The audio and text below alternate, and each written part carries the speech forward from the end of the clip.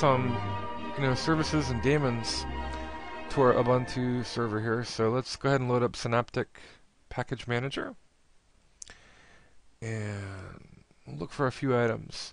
One of the things we want to get is NFS, the networking file system, and that's a daemon that Unix machines use to communicate with each other on the network. Um, so let's go grab that and and let's go over here.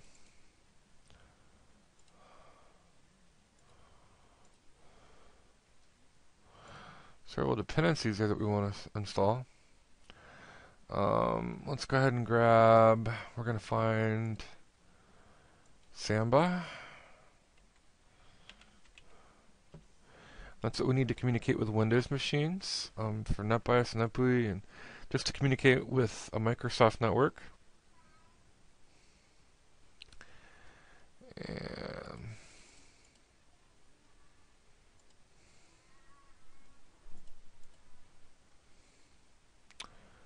let's go.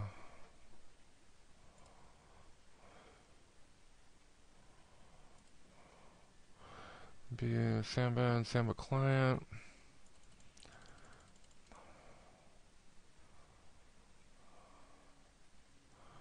And grab the mount commands here.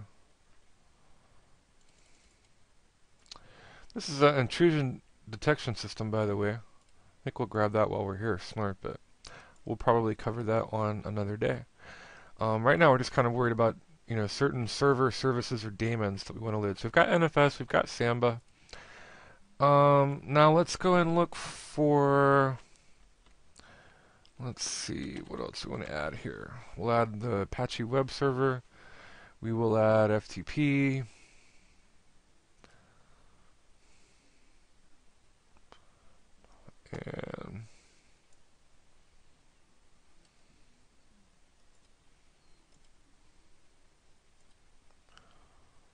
And let's go ahead and do that.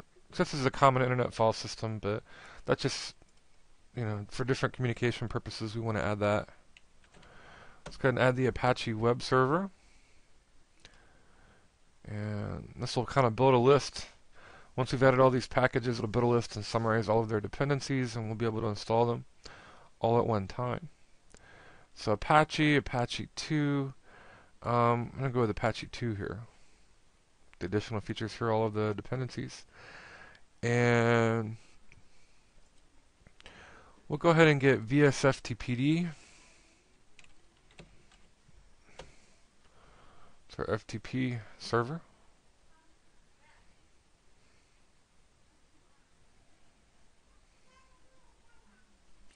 There's VSFTPD. These are just some of the more common uh, services or daemons that you might run on a Linux machine. I'm going to go ahead and say apply. And in this case, to be upgraded, to be installed, unchanged. So we've got a, got a lot of things to install here. Uh, only 21 megabytes of space, but lots of packages to download. Let's go ahead and grab those packages.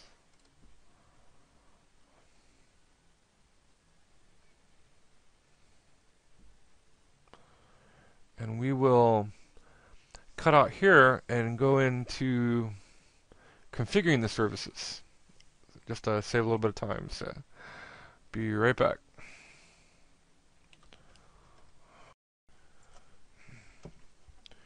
Okay, let's check some of the things that we've accomplished by installing some of our networking services in Apache. First thing I'm going to do is just go into the web browser and we'll check localhost, which is the loopback 127001 and this will test Apache. In this case, there's Apache, and by default, it's set to go ahead and serve up a page index.html. It works, so we know that's there. Now let's open up a terminal, and we're going to zoom in. Check some of our configuration settings. I'm going to print working directory. Oops, that slipped down there. Let me move that back up.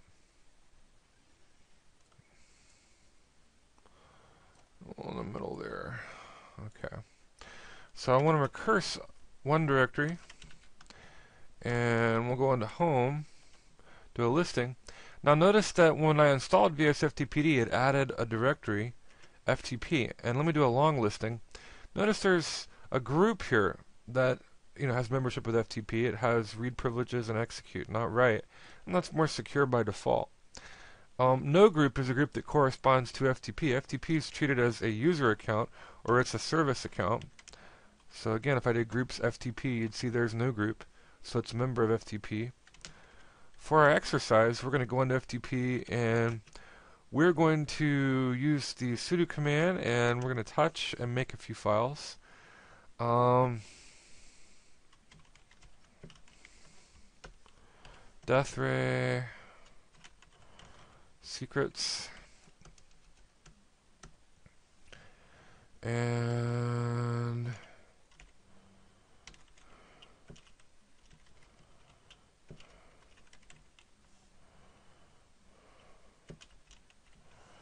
fusion fission fusion bomb maybe it should be fission fusion fission or who knows but anyway Alright, now if we look, root's the owner here. Let's go ahead and change the group membership. Um, and we'll we'll give it FTP access. So no group, and I'll just use a wildcard there. And now all of our files, in this case, have group membership under no group, which is our FTP user account. Alright, now I'm going to traverse and go up to the root directory, and we're going to look at Etsy and boot some of our configuration files. Etsy is right here, and if we go into etc, I'll do a quick listing. Most of your configuration files for Linux you'll find in this folder. And just as an example, X11 for X Windows.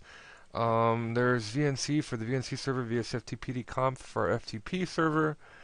Um, good grief, there's the routing daemon, virtual machine for Java, GNOME settings, PCMCIA, for our laptop. Let's keep going. There's cron for time tasks or scheduled tasks. Let's jump up here.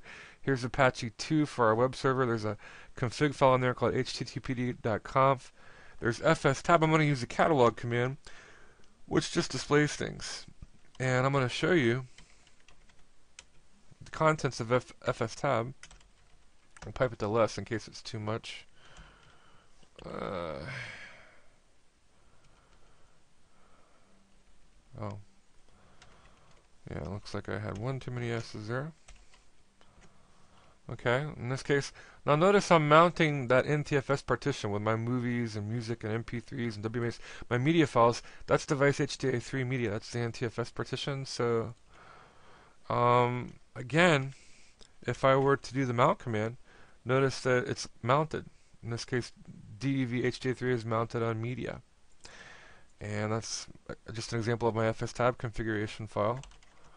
And if I were to list media, um, to do sudo list media.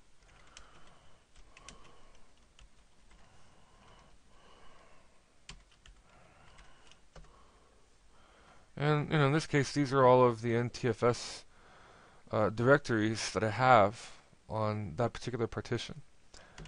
So what we want, what we're interested in, what we want to do, we're going to use Vim.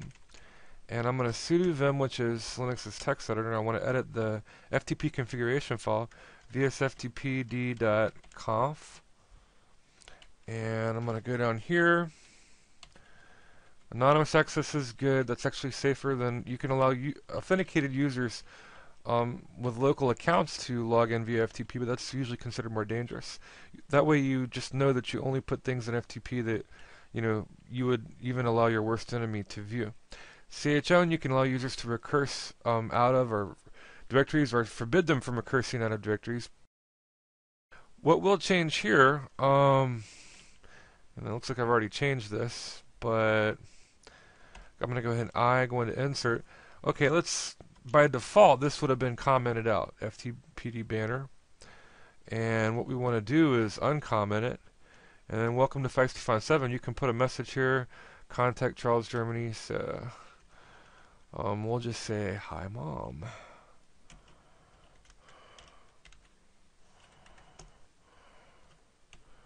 Hi, mom. There you go. And I'm going to hit escape. because I want to save. Now remember, I need root privileges to do this, so I use sudo. I'm going to hit X. That'll write the file and save it. And if I want to check it, um,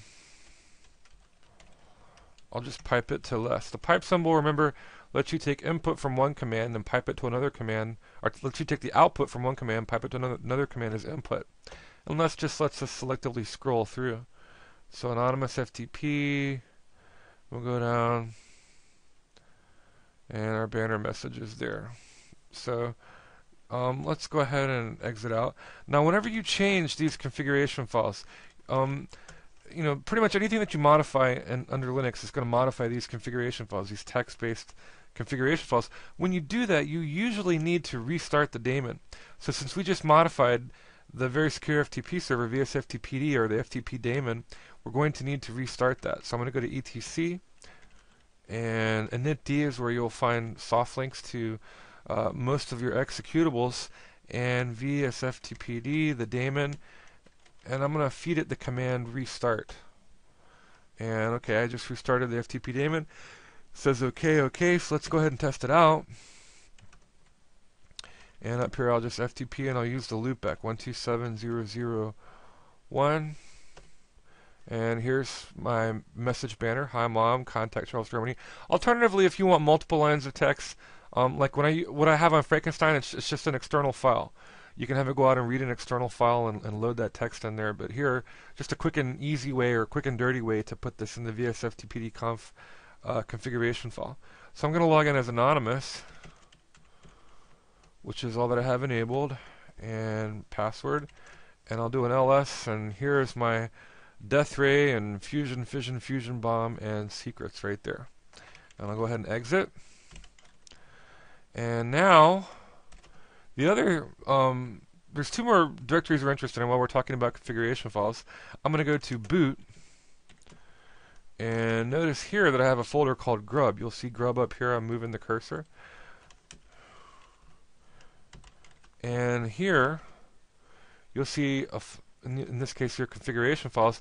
In Fedora, it's there's grub.conf. What Ubuntu did is they kind of modified it I'm not 100% sure why, but you know, different strokes, different folks. If you look at menu list, um, these are actually your startup options. And you can modify this file and give yourself more or less time, you know, the number of seconds when it starts. So this, this is equivalent to uh, grub.conf under Fedora or the boot ini file. You can change your menu names if you want to load it in a text editor and modify it um, you know, where directories are, in this case, the physical drive and the partition, um, the title that appears in the menu, the splash screen. So that's a very important configuration file. And if you ever need to reinstall the bootloader, all you have to do is just type grub. Go into this directory, type grub, and that actually launches an executable. Alright, I'm going to go back to the root directory. The other one we're interested in, because of our web server, our Apache web server, is the directory var. So we're going to go into VAR, and we'll list a few things here. The main one we're interested in is www. Our, that's the World Wide Web or our Apache folder. So we'll go there, and let's list the contents that are there. And this is actually what you saw. By default, um, the permissions are set so that we can view files in this directory. It's equivalent to turning on directory browsing in Internet Information Services um, on 2003 or 2008. Um, what we want to do, we'll just create a quick uh, index.html file in this folder. So let's go ahead and do that. And the way to do that, we'll sudo, we'll vim, and we'll give it a name. And I'm going to get I for insert, and HTML tag. We'll add a head tag. And of course, you would load your own web pages in here. This is where I have networkingprogramming.com. We'll call this test page. Let's add our closing tags.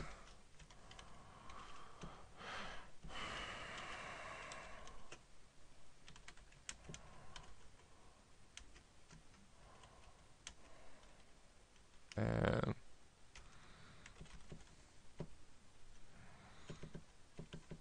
That's hex FFFFFFF is hexadecimal for white, and all zeros is hexadecimal for black. We'll put that in the body tag. We need to close the body tag, and we need to close the HTML tag, and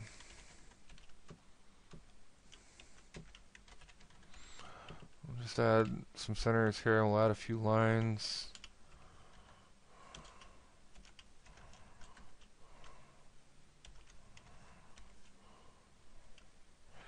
And let's go ahead and change the font here. So, and HTML is not really case sensitive. You just want to make sure you have your closing tags, but we'll make it Arial. And let's make it large. And let's tell you what, let's put that inside the center tag. And doesn't have to be lowercase, but just my obsessive compulsive personality wants that to be consistent. And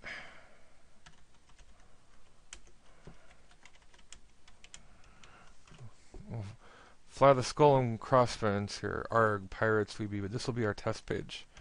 Let me exit out, and I want to hit X to save. And in this case, I want to make sure that the appropriate permissions are on that page. And so other has read, and the group has read. And that'll be our Apache user group, so we're good there.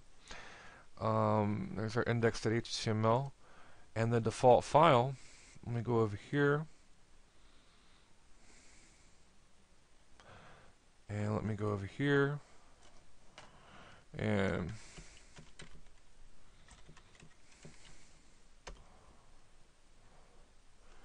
Arg, pirates we be.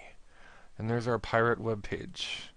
Okay, um, we've tested those items. Let me let me, let me use this prompt on here. It's already open. It's already sized appropriately.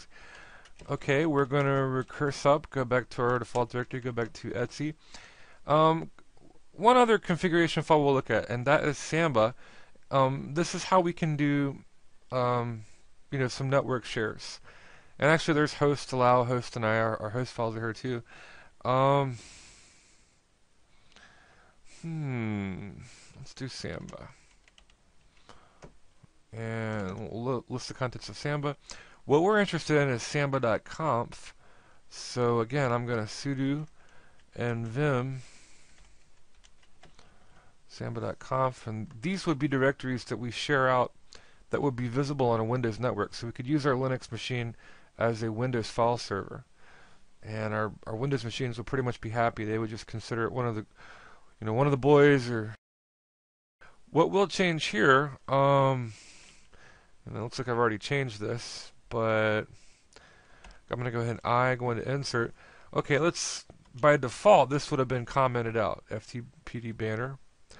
And what we want to do is uncomment it. And then welcome to Feisty 7. You can put a message here contact Charles Germany. So um, we'll just say hi, mom.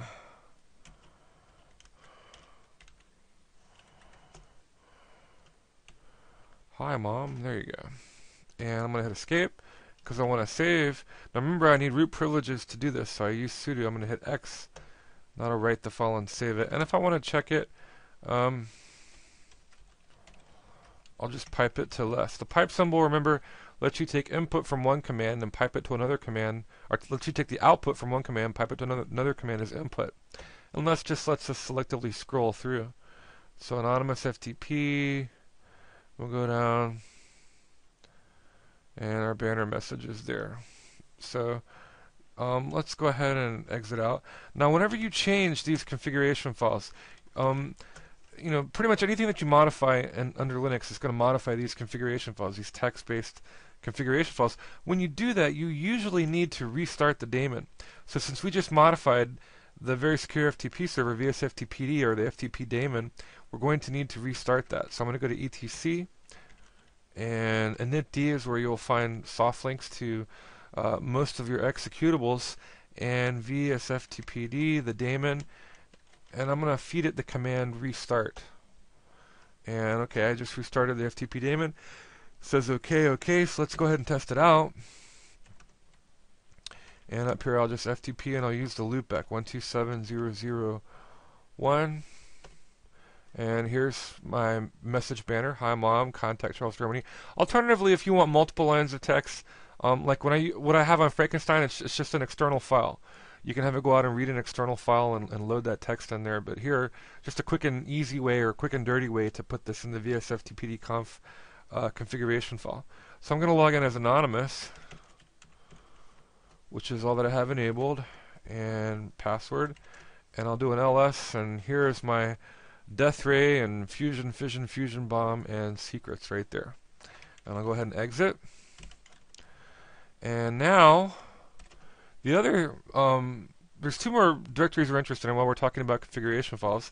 I'm going to go to boot. And notice here that I have a folder called grub. You'll see grub up here. I'm moving the cursor. And here, you'll see, in, in, this case, your configuration files.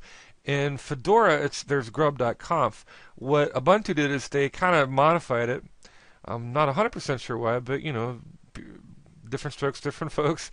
If you look at menu list, um, these are actually your startup options. And you can modify this file and give yourself more or less time, you know, the number of seconds when it starts. So this, this is equivalent to uh, grub.conf under Fedora or the boot ini file. You can change your menu names if you want to load it in the text editor, and modify it um, you know, where directories are, in this case, the physical drive and the partition, um, the title that appears in the menu, the splash screen. So that's a very important configuration file. And if you ever need to reinstall the bootloader, all you have to do is just type grub. Go into this directory, type grub, and that actually launches an executable. Alright, I'm going to go back to the root directory. The other one we're interested in, because of our web server, our Apache web server, is the directory var. So we're going to go into VAR, and we'll list a few things here. The main one we're interested in is www. Our, that's the World Wide Web or our Apache folder. So we'll go there, and let's list the contents that are there. And this is actually what you saw. By default, um, the permissions are set so that we can view files in this directory. It's equivalent to turning on directory browsing in Internet Information Services um, on 2003 or 2008. Um, what we want to do, we'll just create a quick uh, index.html file in this folder. So let's go ahead and do that. And the way to do that, we'll sudo, we'll vim, and we'll give it a name. And I'm going to get I for insert, and HTML tag. I'll add a head tag. And of course, you would load your own web pages in here. This is where I have networkingprogramming.com. We'll call this test page.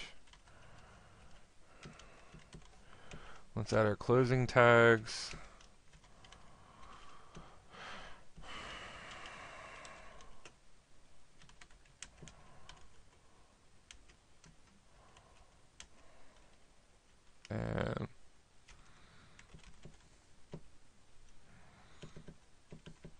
That's hex FFFFFFF is hexadecimal for white, and all zeros is hexadecimal for black. We'll put that in the body tag. We need to close the body tag, and we need to close the HTML tag, and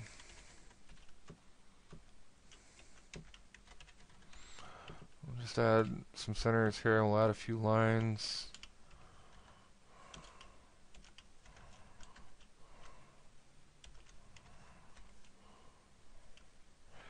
And let's go ahead and change the font here. So, and HTML is not really case sensitive. You just want to make sure you have your closing tags, but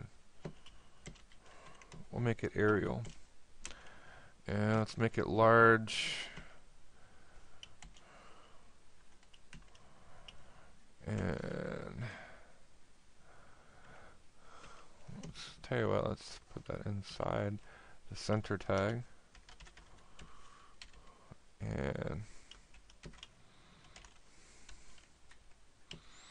doesn't have to be lowercase, but just my obsessive compulsive personality wants that to be consistent. And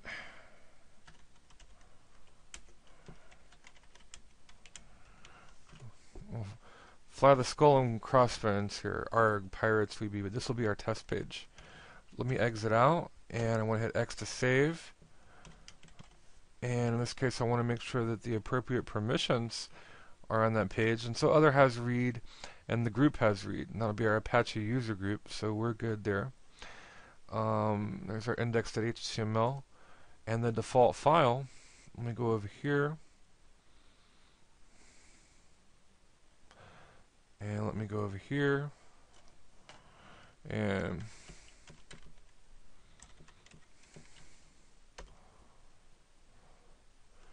Arg, pirates we be. And there's our pirate web page. Okay, um, we've tested those items. Let me, let me, let me use this prompt down here. It's already open. It's already sized appropriately. Okay, we're going to recurse up, go back to our default directory, go back to Etsy.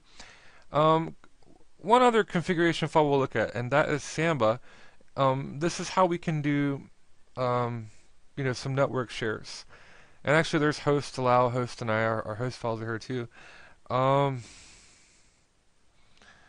hmm, let's do Samba. And we'll list the contents of Samba. What we're interested in is samba.conf. So again, I'm going to sudo and vim samba.conf, and these would be directories that we share out that would be visible on a Windows network. So we could use our Linux machine as a Windows file server. And our, our Windows machines would pretty much be happy. They would just consider it one of the, you know, one of the boys or one of one, of the gang. They they wouldn't be too upset. Kind of. And you know, there's an example here in our configuration file. So we'll just kind of follow that example, but the directory that we want to share, and these are all commented out with comment tags. The semicolon in this case is commenting these things out, but let's say I wanted to share out a directory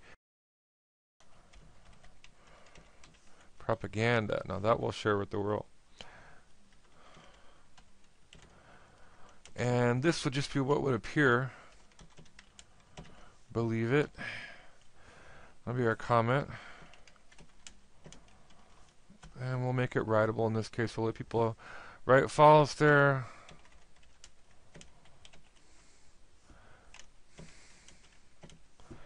And we'll need to make this directory, so we need to make that at the root level. So we'll go when we get done, we'll go and, and do that, and we'll make this public so that it can be viewed by users. Now, and just give us a directory that was shared there called propaganda. And let's create another one. Super fun test. Uh, okay. And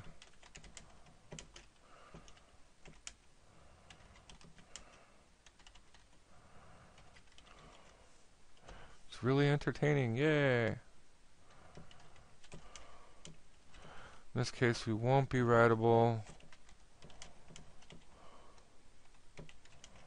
And again, we need to remember to create the directories, but super fun test and public. We'll set that to be public. Okay, we're going to save this. And let's go ahead. Also, we need to make our folders here. Okay.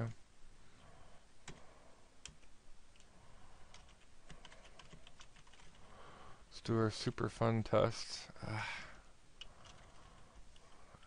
Alright. And let's do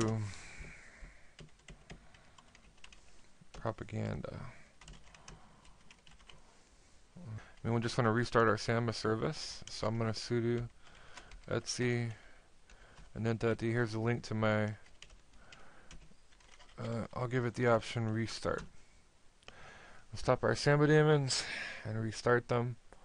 And now we should have these fold folders shared out. So we'll check it with the GUI and then we'll go ahead and use our network.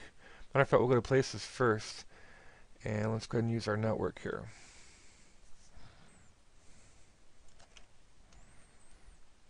Okay, um, let's go ahead and test our configuration here. We'll go over to network. And here's our Feisty Fawn 7 host. And here are our two folders. Propaganda and Superfun Test. And this is how we would appear on a Windows network. For NFS, I need to go into etc, and there's no folder by default called exports. But what I need to do is create um, no, a, a file called exports. So again, I'm just going to use my text editor, and I'll create a file called exports. And for NFS, what I want to and propaganda was my first one. And the way this works is you would do the I could specify a single IP address or a whole network. So if I were going to do like a a whole class C network, that would be like a whole class C network. And then the subnet mask here that I wanted to mask. Um, what I'm going to do is I'm just going to let anybody access my propaganda because I, I, I want wide coverage. And then if I wanted to allow read-write access under NFS, I would type RW for propaganda, and let's say for super fun test, need to match my shared directory there again. I'll allow anybody, and I'll make this one read only with RO. So read write and read only. And I'm gonna go ahead and save it. And when I do that, I need to use a command called exportfs and pass it the A option.